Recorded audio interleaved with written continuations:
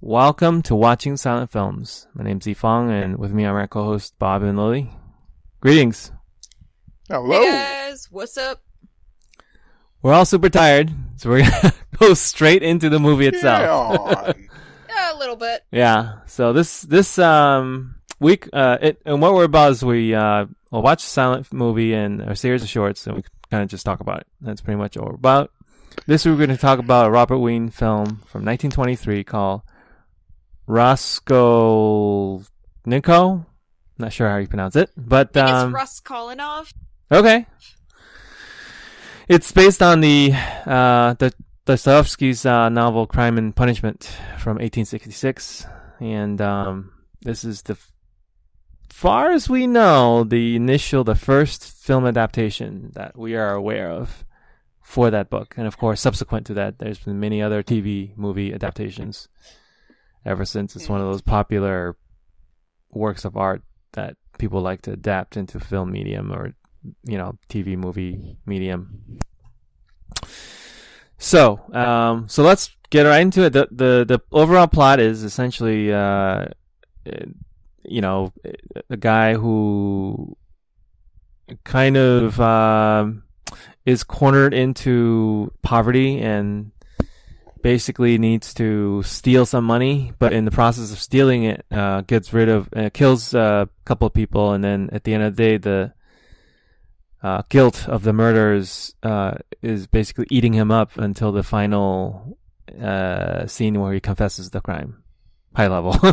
the novel, I'm sure, is a lot more sophisticated and complicated. I've never read it, but I just know that uh, I'm sure it's uh, goes into the weeds, as it were. Inside baseball, right?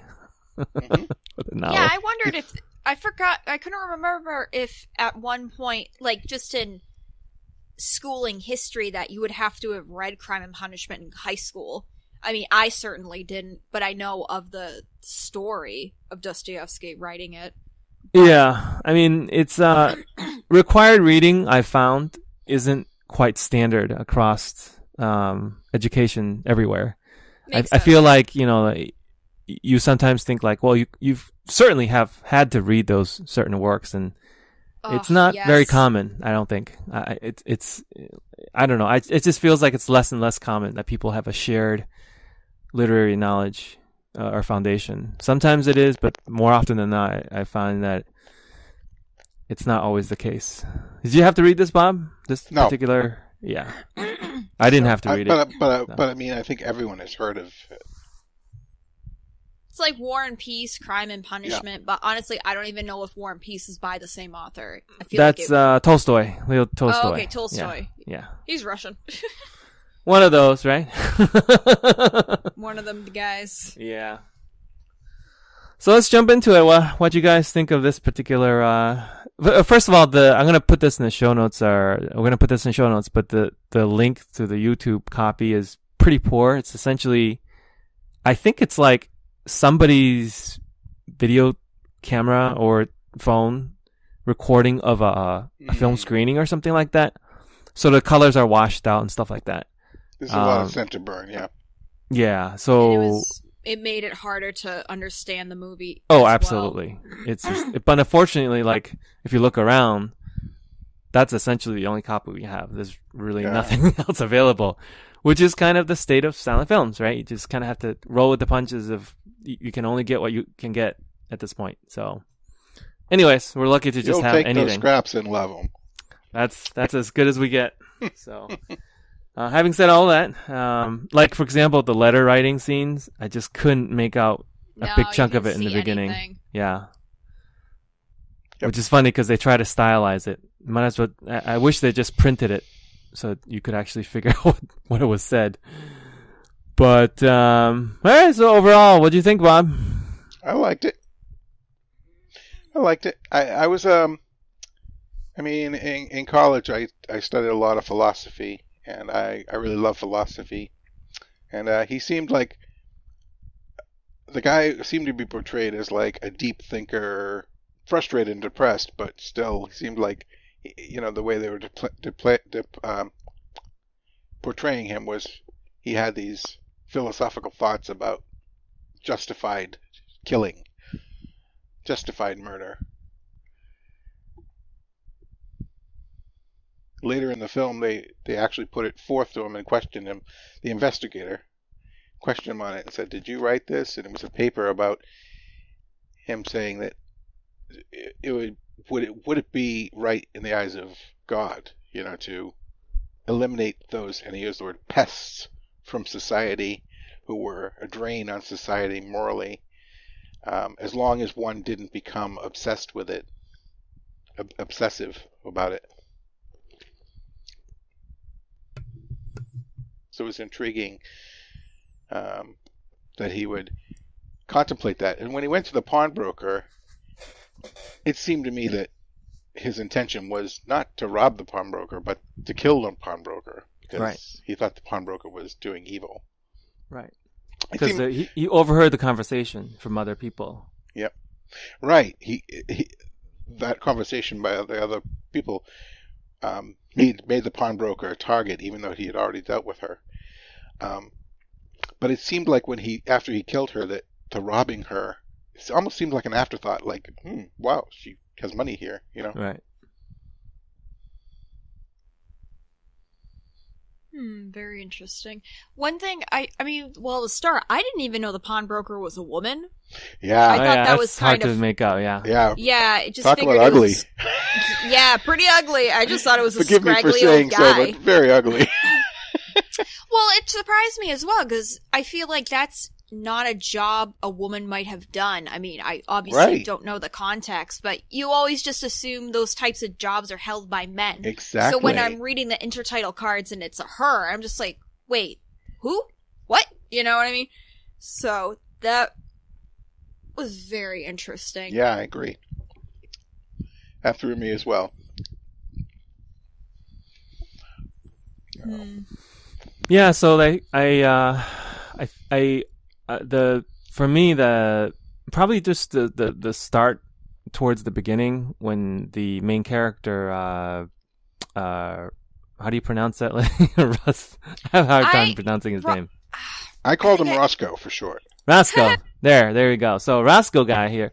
Uh, well, according to the plot for, because I hadn't read it, so I just read the Wikipedia plot. It, he's yeah, a you former, have to. yeah, so he's a former law student, and so he's living in extreme poverty in a rented uh, room in this uh, setting uh, in St. Petersburg, and so he's isolated and antisocial, and and he was in school, but he's not in school anymore, so he's kind of by himself, and he's kind of become a loner, and uh, and he just uh, uh, kind of is in his head so much that he is unable to to support himself, and so um, I think he was already kind of uh, brooding and scheming of ways of premeditated murder. And I think part of it is because of his experience with law, and he's able to kind of, I guess, uh, make his defense or get sort of uh, think He's his able- way through the perfect crime type of ordeal because yeah, of he's his able to experience. understand it. So what what part of the movie that I was super confused by was the letter that he received. So in in the actual uh novel itself, it explains a lot more of the backstory, so that I understood what was going on more. So what happened was, it's basically, and I I I I I, did understand there was something was going on with his mother and his sister, and I, I just couldn't get the details. But in the in the novel, basically, it's saying that um, Roscoe, the main character, received a letter from his mother saying that uh, his sister has been working as a with a I don't know what a governess is, but there's a, with an employer, and apparently, uh, in order to help the whole family out, his sister has chosen to marry this uh, a, a suitor, basically, and so basically she's forced to marry in order to just uh, stay financially stable, basically. And so that really um, messed him up because he was basically saying, and, and basically in the letter, the mother saying that uh, this other character, suitor person, is taking advantage of the situation, you know, and so he's really pissed at the fact that his sister has to make a sacrifice for uh, the whole family when he himself really didn't do anything to help them. If, if anything, he kind of blames himself, I think, at least I'm reading it between the lines, of putting the whole family in that predicament. You know what I mean?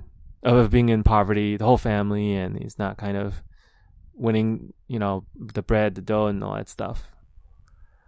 Okay, that makes sense because he was a school student. Yeah, Or a former law student. Yeah, law school costs a lot of money, I'm sure even back then. So yeah, that is an interesting concept. Also yeah. I think having that context is bad. allows allows me to f- place the character where where he is, and also gives him the motive, and that's why in the beginning, it, it, the plot detail. I think some of the intertitles basically saying he's devising even before he heard uh, other people talking about how the pawnbroker wasn't um, morally righteous and all that stuff. He he he had already been planning it way before anything. You know what I mean? Yeah, I think it does a good job of illustrating him going from a, a sort of cerebral thinking it through, but then a target presents itself, which Right. he goes from the the philosophical to the reality. Exactly. that's a whole different world when he realizes there's guilt involved. Yeah. Mm. Whoops, I'm guilty. and and the part of there's again the copy of the film that we watched was so uh, grainy and blocky and blotchy, and the color is just it, the definition was not great, but I couldn't make out a lot of these details. But reading the synopsis of the the, the novel actually clarifies a few things. Yeah. Like in the beginning, he's like in the movie, you could see he, was, he ripped apart his shirt and he was doing something, and I just couldn't see what was going on. But apparently, the plot is that he steals an axe and makes his way once more back to the pawnbroker and gains access, saying hmm. that has something to pawn. Of course, I, I think previously he said he had a cigarette. Um, Yeah, silver metal- cigarette case. Yeah, and so he wrapped something up that may or may not be a cigarette case. That's what he was doing when he was wrapping it up. And the reason he wrapped it up with so many wraps of clothes is so she gets distracted by trying Right. to unwrap the thing. Mhm. So Yep. it took me a few tries to figure that plot detail out. Anyways, um, so you know he uh, ends up killing her, and uh, I, I somehow the scene cuts out. I don't know if there was a more brutal, Yeah, Film there's- scene. there's a- there's Yeah, it was this- very jump cutty. Right. But Well, I know was- that probably I wasn't on error purpose. in the film. There was a there was a damage to the film. Obviously, it turns to a Right. black screen, red screen kind of thing. But yeah, he kills the the sister. right? And that apparently this the the so there's it's the pawnbroker character, but then there's also uh, uh, her half sister. It's very detail oriented. Inter- interrupts him in the in the act. yeah, exactly. Now And she must die Yep. because she's seen his face. Yeah, but I feel like this is where Robert Wayne, the director, is kind of in his element when right after the crime is committed, he he uh you know tries to escape the the floor that he's on, and he's trying to evade uh, all the different commoners trying to check in on the welfare of Mm. the pawnbroker. I just feel Yeah, like that is- entire Good suspense. yeah, like that's kind of right up the Robert Wayne's alley. I mean, that you know, as we said in previous podcasts, he he tends to kind of live in the shadows of the deep psyches and the, Mhm. the guilts and sort of. I mean, Yeah, I was going to say that he he the the sets are very similar to the last film we watched. Uh, Right. With the very he. It, I thought of a neat thing analysis today, which I I didn't re- I realized was it looks like a a Dr. Seuss setting put to life right. oh yes, absolutely. Hmm. with everything uh, at odd angles. So, I mean, the director clearly likes subjects of sanity or insanity. I mean, And reality and stuff like that. Yeah. Versus dreams versus any of those things. Yep. but also, yeah. yeah, my favorite part of the film was that it it kind of it kind of shows that he goes from you know, thinking about it is very different from doing it. Right. It was their modern day thriller, so it makes a lot of sense. I mean, I, I think I know very few people who haven't contemplated like uh, that that that wish that someone would die, which is a terrible, evil thought. But it felt like so many of my friends have expressed it, and I was like, uh, it's part of being human. a one It's part of being human. yeah. Yeah, Yeah, yeah, but also If that- part of being human is that if you actually kill someone, you're gonna be you're gonna be filled with grief about it. Yeah, it's like you know, if only that problem X, whatever it is, goes away, everything would be a lot better. Right. But removing X causes you know Y, Z, and whatever the subsequent Right. stuff came comes along, especially the whole eating into your sort of psyche and your moral blah blah blah. And so like, yeah, and and there's a there's a side uh, story with him and a guy he meets in I guess the bar, at least in in the movie, and his friend who's sort of uh, just drinking his days away is Yeah. in some ways similar to him. In some ways, is like he's not taking care of his family as well. He's just being a drunk, and then his daughter has to be basically a prostitute. Is kind of the that's what it is in Uh, novel. When he starts confessing to him at the bar, I thought, oh boy, this guy's like marking himself as the first target, you know. Right, right, exactly. But it doesn't turn out that way. It doesn't. He doesn't take it. Roscoe doesn't take it as he he's the one causing the pain. It's someone's causing his pain. You know. So essentially, it's it's the whole thing is in six parts. So the the actual book itself goes in way more detail, way more plot, way more sort of back and forth. It feels obviously it's you know based on a novel, which in which the novel is a lot more. Uh, I don't know, like the. It's a lot more. It tells of a detailed. complete story. Yeah, Where absolutely. the film, we're getting bits and pieces. I could tell that between the six parts. You know, Yeah. the first part is there, the second part's there, the third part not as much, and then Right. as it just goes on and on. Exactly. Because it's a book, exactly. they have more time to spend telling you the story. Where the film's only an hour, Right. and I'm sure the book's going to take you more than an hour. Oh yeah, Mm. yeah. But I was going to comment on, you know, I personally couldn't get into the film once again because of the way it was the the copy we watched. But now that we're talking about it, the way it it is very fitting for this film because of the German expressionism, like dealing with the psyche and I don't know. It's I feel like it's a good film for Robert Wiene to have tackled just because of that thriller aspect.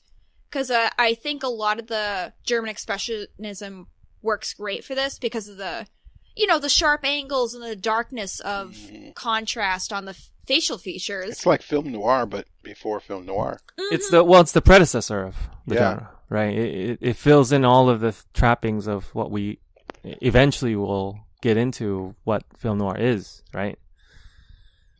I so, agree. Um. Oh, there was something else I was going to just say, but if, uh, let's see.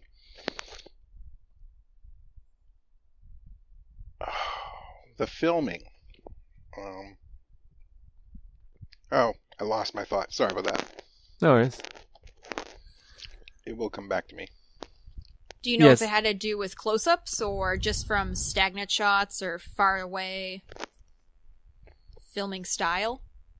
Oh, I remember it. Yes, it was. It was. Uh, there was one scene where, and I don't remember what was wrong with him. It wa- I don't. I think it was exhaustion, and it was. He wasn't drunk, but it's commonly used in modern film for someone that's drunk. They blur the scene, but he did it in a very interesting way, in which the character in the forefront of the scene was in focus, and what he was looking at, like all the background, became blurry. Oh yes, And yes, I thought, yes. wow, that's very clever. That's, That's near the uh, police station area where he's trying. He Yeah. was uh, he, he was summoned basically because his landlord is saying you- you're not paying. He owes a hundred something ruble or whatever it is, and so he needed to pay up. And then as he was leaving, he just basically felt faint and kind of just passed Right. out. And They during that, back in again. yeah, and there was a scene, like you said, the camera uh, intentionally uh, uh, obfuscate, obfuscates and makes blur some of the background. Yeah, yeah, it was very cleverly done. I mean, I was like, wow, that's exactly how it makes you feel. You know, it makes you feel like, Yeah. oh my god, the guy's going to pass out. Yeah, and that's the beauty of this particular movie. Now, if we could only have seen a, a super clean print and clear Yeah. print, I think we would see some of these details. See, see a nice, a nice um, picture in focus, so you can Yes. see out of focus clearly. yeah, that's that's the thing about film restoration. That's why it's critical and important that uh, older films like these get their their due of you know right. you know clean prints and cleaner picture quality, so that you can actually get get all of these full detail information that you wanted. You know, Yeah. so Yeah, I'm all for it. Film restoration, that is. Yep. Hmm. Especially for this film, being that it's such a widely known book, I think maybe they sh- I mean, I'm sure, I mean, maybe they're in the process of cleaning it up somewhere in the world, but just because it is kind of an important piece of literature, I'm Yeah. surprised they wouldn't want to mirror that to be like, hey, here's an equally important piece of film. Mm. But I'm sure people are like, oh, blah, blah, blah, it's not that important. Blah, well, blah, it has to do with budget money, always, right? Yeah, always has to do with how much money people can devote to do all this stuff. It's expensive, you know. So So let's see. The char- the main character, Roskowitz, Rocko- Roskowitz, whatever his name is, uh, He, uh, because of the distortion, it was really funny that his eyes were often just two glowing dots, and it made him look like a monster, like a vampire. And I thought yeah, it added, in a way, to the eeriness of the film because he Mhm. wasn't because he wasn't in focus and you couldn't see his face clearly. He just kept reminding me of Lurch from the Addams Family. oh yeah, yeah, yeah. Mhm. But you know, a lot of uh, Robert Wiene's films basically have characters like from that. In a f in fact, because Addams Family came after, right? So Mm, you could also say that they're influenced by films like Oh, these. I'm sure. so, I'm sure. so these type of makeup, these type of specific artistic choices that you know where they present the the thing about like the German expressionism is like my favorite part in describing it is that you know the artist actually paints the shadow into the set.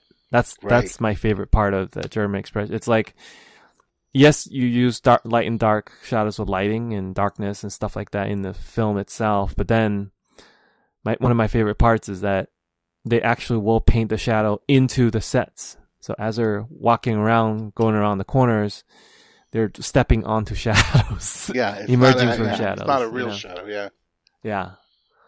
So yeah, and um speaking of freaky, there was um as he was hallucinating, it was he's passing out, sleeping at home or something like that, and as the guilty conscience of the murder is happening, there's the pawnbroker's face uh was basically Multiples. duplicate. Oh, Yeah, the multiply. old It- yeah, Yeah, it was, that was freaky. freaky. Yeah, it was freaky. Is the best. It's and it was duplicated just all over each frame of the the.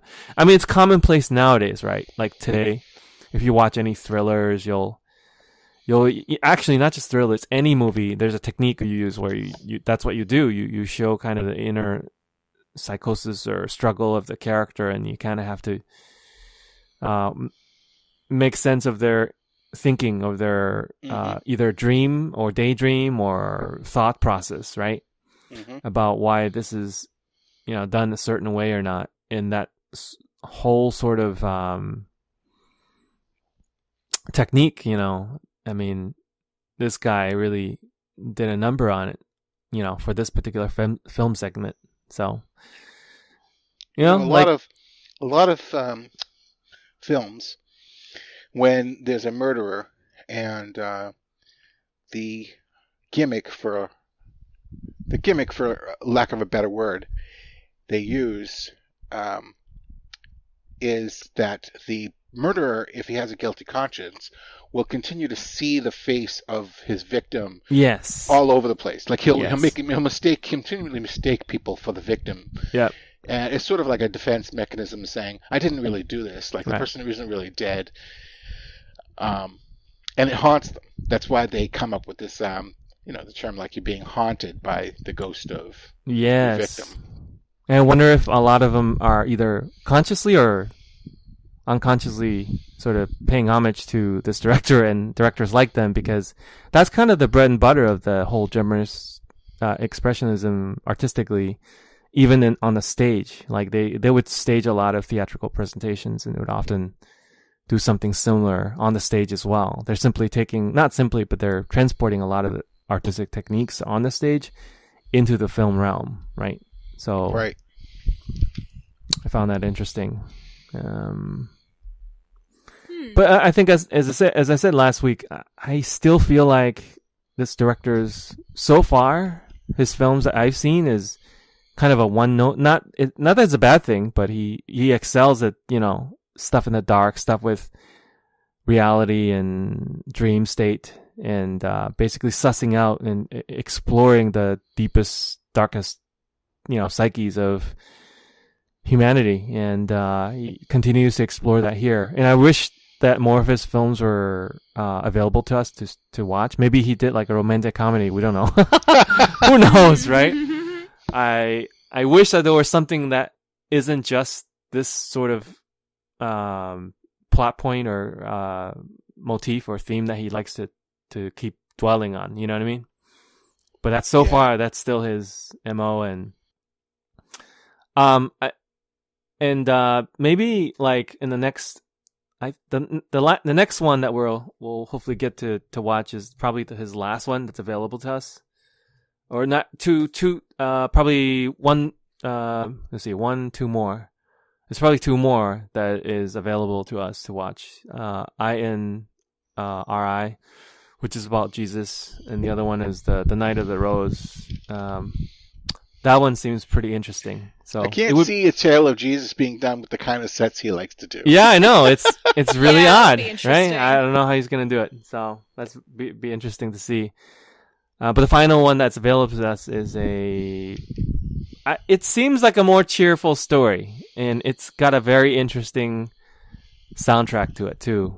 Um, Oh, that's another thing I was going to comment about this film is I hated the music. oh yes, It was yes, very boastful. Yeah. And I just want to say INRI being that it's cheery, I'm just like, that was on Jesus' cross. I don't know how it could be cheery, but we have to just see. yeah. I'm just like, isn't that like his, you know? Oh no no no, not that movie. I was talking about the the one after one. That one called the Night of the Oh. Rose. Yeah. So Oh, he gotcha, sorry. there's a couple more movies he's that's available to us. One's uh, a 1923 INR, and then the other one's called the Night of the Rose, which is the the final film that I, uh, as far as we know, is available to us in uh, 1925 or 26. Hmm. That's kind of the last one, and that one is a different plot point. So, anyways, looking forward to some of those when we get around to that. But other than that, uh, I would say, due to the picture quality, I think it's really hard to discern uh, what the film in detail is about. But um, we got the sort of the large plot points. I think. I just wish that we would would be able to see some of the background, the sets, and the designs clearly, and the- some of the acting stuff like that. But than that, uh, even I would imagine, um, just using my imagination, if we could even if we do all that, it's still kind of mid grade. It's I I still don't think it's as good as even like even Fear, you know, one of the first ones we saw, or even like uh, certainly like Caligari or In the Hands of Orlac. Those those are uh, still I think far superior works of film than than these ones. So so far. And what was that about Orlac? In the hands of Orlac, yeah. So it's uh Is that the same character from Nosferatu? different character. That Oh. one's Orlek or O R L E K, Count Orlek, and then this one's Oh. Orlac. Oh, okay. Thank you for clarifying that because yeah. I thought you were talking about the same character, and I was like, oh, that's interesting. Yeah, it's No, not a similar names. yeah, not a it's not a sequel or tie-in. Yeah, no, Yeah. no, no, no. So yeah. Of course, all these things references some. I bet either some local Germanic, you you know, Transylvania location or some reference point. I'm sure. I don't know what the detail is, but wouldn't surprise me if they actually reference something local to that uh, region. It wouldn't surprise me. Yeah. Yeah. But anyway, back to the movie. I just uh, eh, that's my thoughts about it. Uh, I don't really have anything else to add except that you know his actual technique, his direct sort of uh, technical expertise is still on display here, and he's still going for the same themes as I noted last time that we reviewed his movie, and so that's pretty much all I have. Do you guys have any sort of parting thoughts about this particular movie? I would say overall, I, I think it's worth watching. there's In spite of the fact that it's terrible quality and terrible music, it's still s- until if you if you like if you like um, thinking about a good display of you know the guilt that someone might feel for committing a murder. That's it's a really good display of that. I think. Yeah, it's kind of like an extrapolation of that novel, uh, the the Crime and Punishment novel. It it, it definitely distills uh, a lot of the major themes from that book It, that, that that is into part of the book. movie. Yeah. So Having not read the book. yeah, I'm sure it's a long book. he doesn't write short books. Sorry, Lily, if I talked over you there. Oh, it's okay. I was just like, better version. Someone, Yeah. anyone. um, I don't really know much to say about this. It, it, I guess, if there was, how many remakes do we know? Of? At least Have been done 23, with- 25. or Oh my yeah. gosh. Okay. 25 adaptations of Crime and Punishment. Yeah. wow. Yeah. Well, I was gonna say, amongst all of those, I mean, one of them's got to have another, you know, defiable psychosis of the psyche. you know, just to understand it a little better. You know, you go from the 1923 version to the the next updated version. I don't know if that came out in the 40s or something, but it just be good to see the next.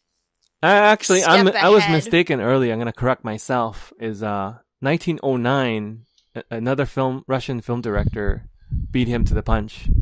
So 1909, they already did adaptation for Crime and Punishment by a director called V. Goncharov. and there's another one after. Actually, there's three adaptations: 1909, 1913, 1915, all Russian films, which I bet all lost. So um, Mm, then the U.S. did a, a silent one too in 1917. So it's heavily uh, adapted over the years. Yeah. Everyone, everyone must accept that Crime and Punishment is a good book. Yeah, it seems like it. Yeah.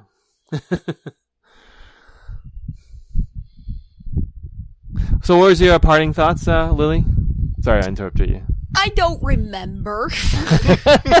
um, maybe just seeing the most up, uh, comparing that version, like the eldest version, this version, maybe the next updated version, in the most recent. Because I would think maybe Hollywood might not have distorted it as much for the next version of Crime and Punishment.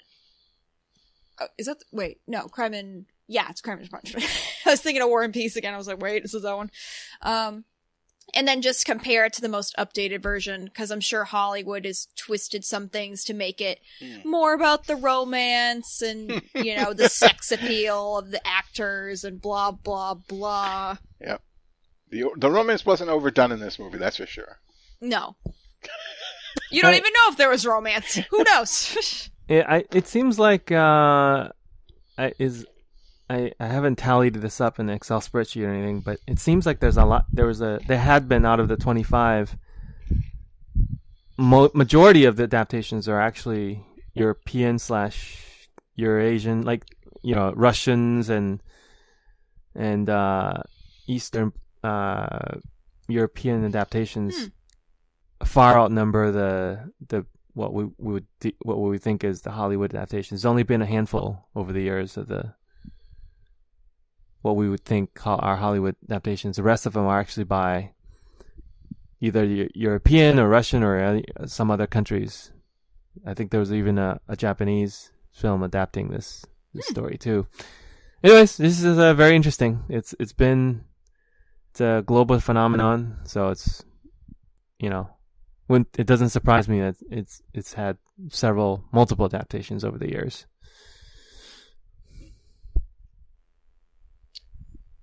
Very interesting. Mm-hmm.